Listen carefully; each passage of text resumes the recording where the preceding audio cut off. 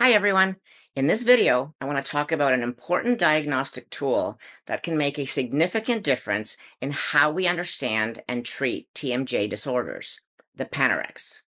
This advanced imaging technique is a great screening tool that can help to identify issues that have to do with the TMJ temporomandibular disorder that may not be visible with traditional x-rays.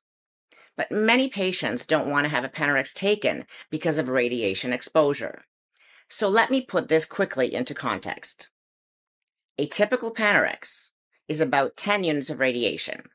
And comparing this to daily everyday sources, here are some common examples. For example, daily background radiation, which is basically you walking around, is about 10 units. Chest x-ray is about 100 units. One serving of Brazil nuts is about five units. Daily radiation from food is one unit.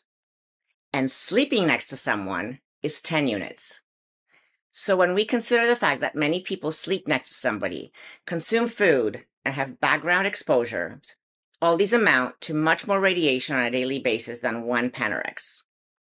Now, here's what a Panorex can help us see and you will be surprised by some of what can be seen on a Panorex that can greatly help us prevent, diagnose early, and manage TMJ issues before they become unmanageable and painful. Now, by the way, this is my Panorex machine. So let's take a deeper look. So first of all, here's a typical Panorex. Now, most dentists see teeth. So here you have impacted teeth, wisdom teeth, maybe a missing tooth, there's some decay, but very few look beyond that. Here's another one, broken piece of a root after an extraction that resulted from a piece of tooth being left behind. Then there's a fractured tooth that resulted from massive decay left unrestored. And here's sinus pneumatization, where the sinus drops when a tooth is extracted.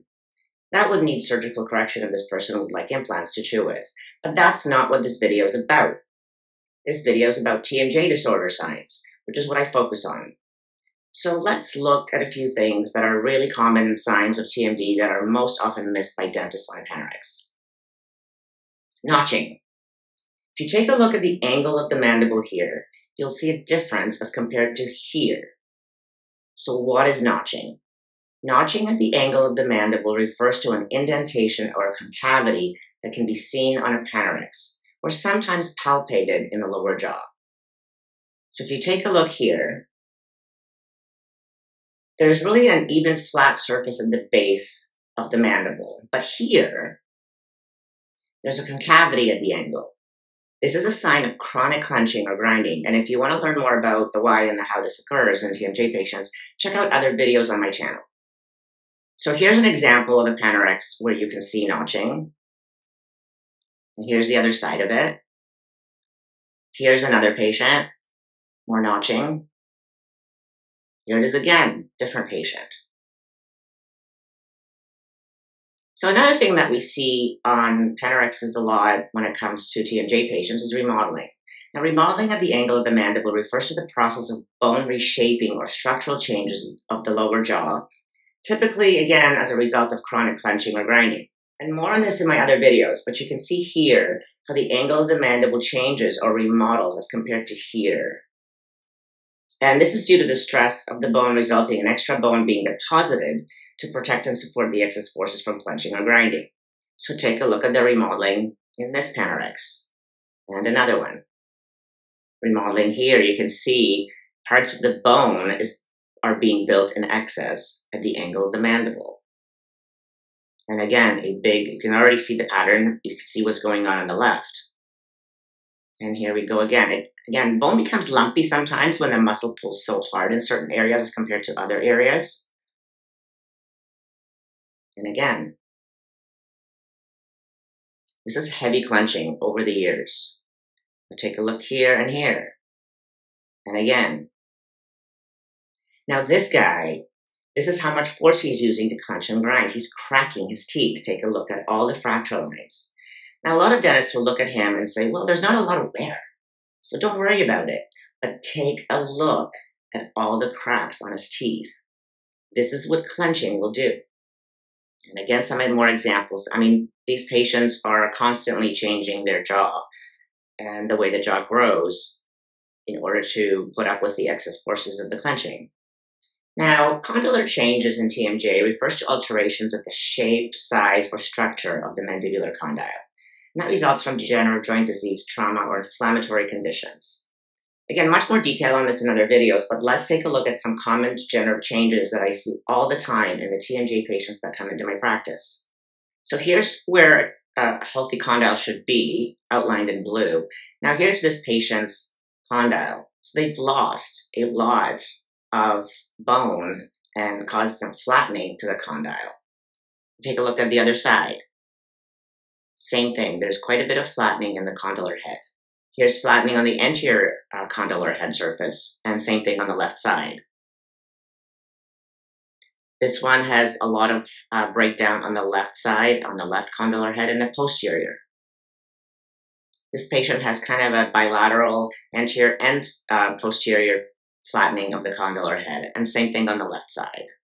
A lot of degeneration on that anterior condylar head on the right side, a bit on the left side, both upper, posterior, and um, anterior. Now take a look at the right condyle here. A lot of degeneration, a lot of wear, a lot of bone loss on the condyle. And again, patient after patient, you're going to see these patterns as you start looking. This one actually has excess bone growth, and these are typically if uh, if you continue and do a CBCT, you'll probably see something called lipping or osteophytes, where bone is actually uh, laid in excess in certain areas due to the degenerative changes. And more on that in other videos, but you could see it even on a Panorex at times. And again, the other side is quite a bit uh, broken down and changed. Again, some flattening here. Take a look at the left side before I, I outline it. A lot of degeneration, and you can see the dipping in the bone. And another one here. And take a look at the pattern of bone degeneration. This is pretty aggressive. This is an interesting one. This is a lady who came in with a broken condyle. You can see the pieces of, of um, the condyle that are fractured and also a broken coronoid process here. So this is from trauma. She had no idea she had broken it. She was just in constant pain for years. And over the years, look what happened to her condylar head. So she's got flattening, anterior and posterior. But look at what it's happened to the shape of the condyle. It has completely remodeled in order to try and keep up with the forces that are happening as a result. And this is a hypoplastic condyle or degenerated condyle, very small head, a lot of bone loss, a lot of degeneration in general. Again, these patients are in pain. So stylohyoid ligament calcifications. So the stylohyoid, the, sorry, the styloid process is a slender projection uh, of bone extending downward from the temporal bone of the skull and it serves as an attachment point for muscles and ligaments associated with the tongue and throat. The stylohyoid ligament is a ligament that runs from the styloid process to the hyoid bone. In individuals who clench and grind their teeth, this ligament becomes overused, leading to calcification and hardening as a protective response, making it visible in x-rays such as a Panorex. So here's a stylohyoid process on this patient, both sides. You can see how much it's grown how much it's calcified. Here it is again. And these will take on all kinds of different shapes and sizes. Here's another one. And this is a big one. And another one. You can see how the bone structures and forms along the ligament. These can get quite long. And remember, these are near vital structures. The jugular vein, carotid artery all run in that area. And so these can be quite dangerous.